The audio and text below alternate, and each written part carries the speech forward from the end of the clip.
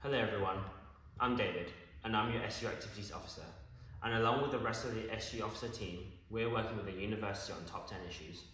I'm leading on an issue around financial security. This issue is something close to my heart and is something I base my officer campaign and dissertation on.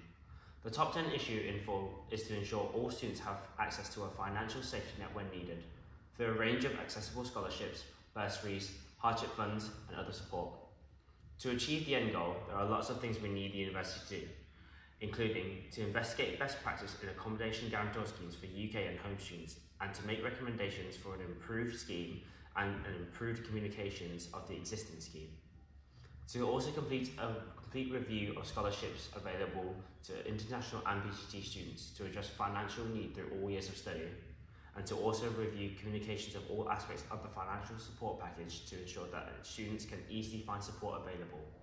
To start things off, I've had meetings with Cassie Wilson, the Pro Vice Chancellor for Student Experience, and members of the University Executive Board, and I'm pleased to announce that the review on current offerings is already underway.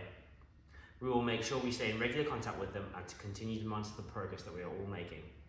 My overall hope is that everyone can have financial stability during the cost of living crisis, especially international and PGT students. Not everyone has a family or savings to draw on, and I'm aware that some students are already having to work multiple jobs alongside their studies to pay for bills, and this really shouldn't be the case. I've also met with Wera Hobhouse, our local MP, to discuss this issue, and we will also be drafting a letter to Parliament to ask for a realistic increase to the student maintenance loan. This increase will give students important stability and allow them to thrive while in education. I'm grateful that I can help to deliver tangible change for students at Bath. If you want to be involved in any way or have any ideas, please do reach out. I look forward to updating you again soon.